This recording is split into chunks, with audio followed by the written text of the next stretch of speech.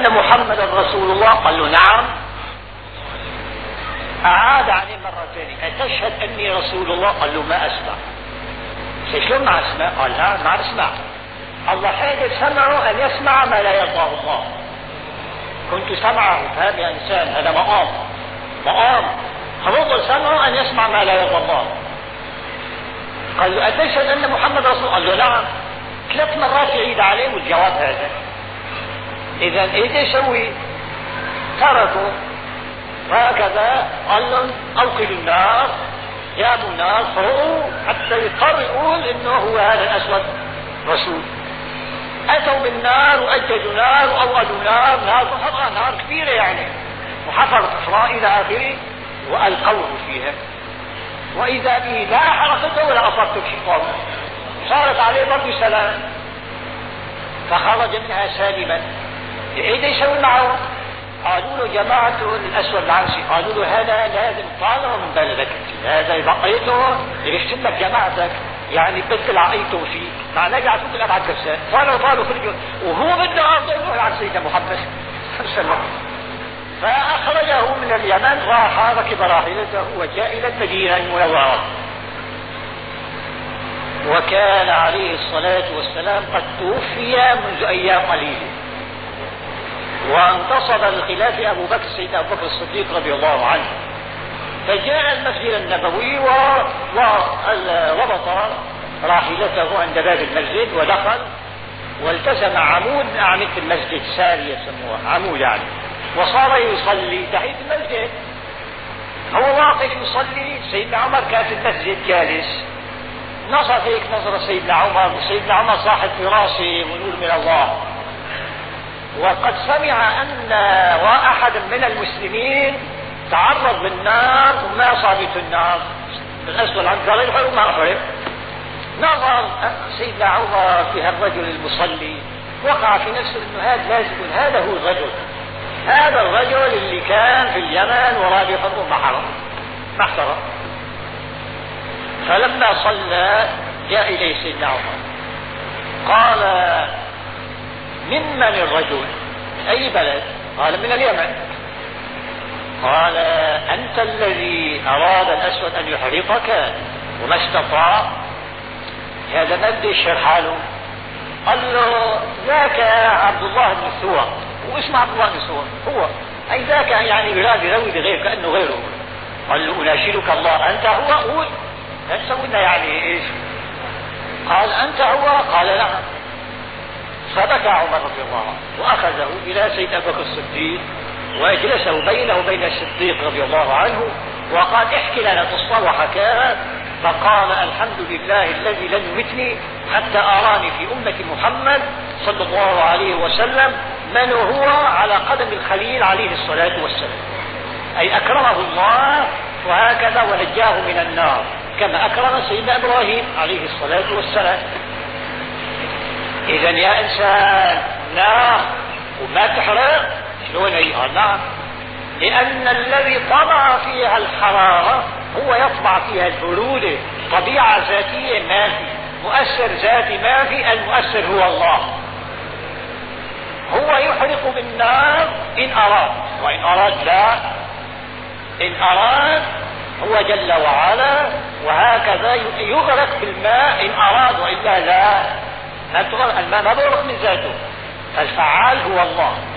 إن أراد أعطى الشيء وأخرج من شيء ضده. فما للأشياء طبيعة ذاتية المؤثر بها هو الله. فهو يحيي بالماء. قال فأحيا به الأرض بعد موتها. الماء لا يحيي. الماء ما يحيي الزرع. بل المحيي هو الله. لكن بها بالماء. بالماء. فلذلك أحيا به. إذا المن الذي أحيا؟ هو الله. لكن أحيا بالماء فالماء سمن فإن شاء أعمله الله فأحيا به وإن شاء عطله الله فأعمل. إن شاء عطله. ما أحيا به بل أمات به أشياء وأشياء. فهو المؤثر الفعال. ولذلك الحجر والصخر. الحجر والصخر. هل فيه طبيعة التوالد الحيواني؟ لا ما الحيوان خلق الله فيه طبيعة انه يولد حيوان إلى آخره بإذنه إن أراد والا بيجعلها أي ما بولده عقل الأمر كله جل وعلا. اذا هو الفعال مثل ما قلنا. الحجر الأصم هل فيه طبيعة من هالشيء؟ قال ما في شيء. اذا من الذي يجعل الشيء من الشيء؟ وما في طبيعة ذاتية. وإنما المؤثر هو الله الله هذه الصخرة التي طلبوا من سيدنا صالح قوم سيدنا قوم سيدنا صالح يعني قوم ثمود اللي الله أرسل فيهم سيدنا صالح. قالوا له بعد الجدل والعناد والجحود وجادلهم وأفهمهم بالحجج العقلية والبينات كما هو معروف. جاءت الرسل بالبينات. ما صدقوا؟ عناد. قالوا له من باب المعاجزه باب المعاجزه إذا كنت أنت يا صالح رسول أخرج لنا من بطنها الصخرة.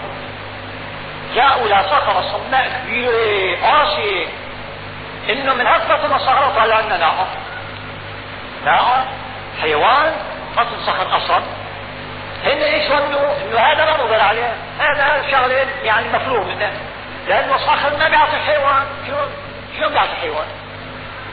فباب المعاجزه طلبوا لكن ما بيعرفوا إن المعجزات بيد الله. والقادر الفعال هو الله. ظنوا طلبوا أمر مستحيل. قالوا بجاوبكم. نعم. لكن آمنوا على شرط آمنوا. أعطوا عهد آمنوا. واذا به اجتمعوا كلهم. جمعوا وتوجه بالدعاء إلى الله. دعا الله. طالع له بطن الصخره ناقه وناقه أيضا حبلى وشراء يعني. من بطن الصخرة الصماء ناقة عشراء. إيه على الأساس. فتوجه إلى الله وهم ينظرون. يعني شغله مستحيلة وإذا بالصخرة تتموج كالمرأة التي تلد أخذ الوضع. شلون؟ صارت إيش؟ تلوى شيئا ما شيء طلعت الناقة خرجت الناقة على رجليها وفي بطنها أيضا ناقتان لكن من الذكور يعني خاصة. فهكذا فصيل. فولدت هذه الناقة ولدت ولدا ومشى على رجليه. ومشى معها يعني وهي تمشي. آمن من آمن. وبقي أهل الجحود والعناد على حاله. إيش قالوا؟ هذا سحر اللي قالوا سحر هن راحوا عقروا النار وذبحوها لك سحر وهم يعني سحر خيال يعني. يطيب شلون سكتوها ذبحتوها. شلون أنتم سكتوها ذبحتوها. كمان سحر هذا. فهم كذبوا حالا بحال وهذا شأن المعاند نسأل الله العافية. يعرف الحق ولا يعترف ويرى الحق ولا ويقول ما رأيت. هذا الشأن العناد. ولذلك جاءت الرسل بالبينات. جاءت توضح بين عقلا نقلا واقعا فطرة بيان واضح. فبعد البيانات والبينات والإيضاحات قامت الحجة على المخالف فإذا أخذ المخالف بالعذاب أخذ بحق يا إنسان. وهكذا فكر. ناقة صخرة صماء تخرج ناقة. إيش المناسبة والطبع بين هي وهي؟ كيف هذا؟ إذا ما في شيء اسمه طبيعة ذاتية. الطابع وخالق الطبيعة والمؤثر الفعال هو الله. هذا الله يا إنسان. له ما في السماوات وما في الأرض. من ذا الذي يشفع عنده إلا بإذنه؟ ليس لله شركاء. طيب هل له عنده شفعاء؟ قال عنده شفعاء بإذنه. هذه المناسبة بين الآيات. شركاء ما في. طيب شفعاء بيشفعوا؟ قال نعم. شفعاء لكن إن أذن لهم شفعوا. وإلا ما حدا تقدم للشفاعة. يعني ما حدا بني إرادة على الله. فاهم يعني؟ واحد يتقدم الشفاعة بدون إذن ما في إنما يأذن الله فيريد أن يرحم عباده فيأذن للمقربين من رسله أنبيائه أوليائه يشفعون. وملائكته إلى آخره. فمن هو أول الشفعاء الذي يؤذن له؟ من ذا الذي يشفع عنده؟ إلا بإذنه. أثبت الشفاعة لكن بإذن الله فاهم عنه ما منح الشفاعة؟ اثبتها لكن بالإذن من هو أول من يؤذن له؟ قال هذا سيدنا محمد. أوجه الوجهاء عند الله وأكرم الكرماء على الله وأحب أحباب الله إلى الله. هذا حقا هو ينبغي أن يتقدم للشفاعة وهو المأذون له. ثم يأتي من بعده بقى بقية الرسل والأنبياء والأولياء وإلى آخره. هذا سيدنا محمد صلى الله عليه وسلم هو يفتح باب الشفاعة. قال عليه الصلاة والسلام أنا أول الناس إذا بعثوا أي من القبور. وأنا أول خطيبهم إذا وصلوا على الله. يقول خطيبا فيهم وأنا أول شافع وأول مشفع. أول شافع يتقدم للشفاعة وأول من يأذن الله له بالشفاعة ويقبل شفاعته سيدنا رسول الله صلى الله عليه وسلم. فيتقدم للشفاعة ويأذن الله له لا لغيره أول ما سيدنا محمد غير مصيب أبدا. لا ملك ولا نبي ولا رسول ولا ولي ولا جبريل ولا ولا ولا إنما حتى يتقدم سيدنا رسول الله صلى الله عليه وسلم. فيشفع لأهل الموقف شفاعة العظمى وثم له شفاعات له شفاعات شفاعة في أتباعه أن يرفع الله مقاماته في الجنة. اللهم اجعلنا منهم. شفاعة المذنبين من أمته المذنبين من أمته. فمنهم من يشفع به أن لا يعذبه الله بل يغفر له ويدخله الجنة. ومنهم من هو عنده أشياء وأشياء فيدخل النار بذنوبه ومعاصيه ثم بعد أن تمضي عليه مدة مدة وهو قبل ما أن تمضي عليه المدة المستحقة عليه يأذن الله لرسوله أن يشفع. فيشفع في أهل الكبائر في من في النار يخرجهم على طبقات مراتب. فوج أول فوج ثاني فوج ثالث يا إنسان. على مراتب. هؤلاء الذين حقت عليهم كلمة العذاب بسبب معاصيهم. هم على مراتب حسب ذنوبهم في من أهل الكبائر من لم يدخل العذاب أبدا. رأسا إلى الجنة بشفاعة النبي صلى الله عليه وسلم. إيه قال ليش هيك؟ ويقول له باهي راجعة لحكم إلهية وحسب العمل. وحسب الحال وحسب المعصية وحسب وحسب إلى آخره. القضية هي حكمة يا إنسان. الله عليم حكيم.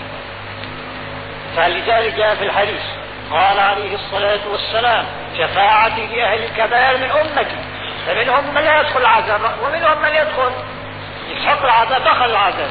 ثم أخرج بشفاعة رسول الله صلى الله عليه وسلم. إيه قال هذول العصاة لما بيدخلوا جهنم العصاة المسلمون إذا دخلوا جهنم يعني بيتعذبوا قال له بتعذبوا كيف عذبوا قال لا هذول يعني بيدخلوا لك الحمد لله بتعذب. في عذاب. عذاب حتى بيصل واحدهم بيصيب بيحترق بيصيب مثل فحمة.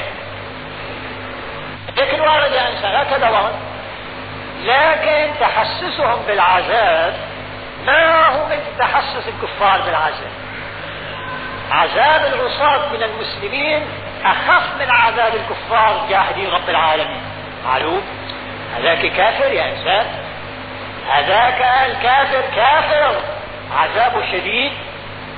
وكل تحسس العذاب. ذراته كلها تتحسس والنار تصل إلى قلبه نسأل الله العافية. إنها تطلع على الأفئدة على أفئدة الكفار. يصل النار إلى ضمير قلبه جوا جوا بحر قلبه. نسأل الله العافية. أما المسلم النار لا تصل إلى قلبه. لأن قلبه عامل بلا إله إلا الله محمد رسول الله. هي خصالة هي لا يا إنسان عليك في فرق. لكن إنت إيش لك الشلوة؟ الشلوة؟ الطيب تأتي في جهنم. مشان إيش؟ يتوب إلى الله يا إنسان. ما بدك عذاب لا عذاب العصاة ولا غير العصاة. الشغلة كمان فيها صعوبة. قال عليه الصلاة والسلام. كما صحيح مسلم. أما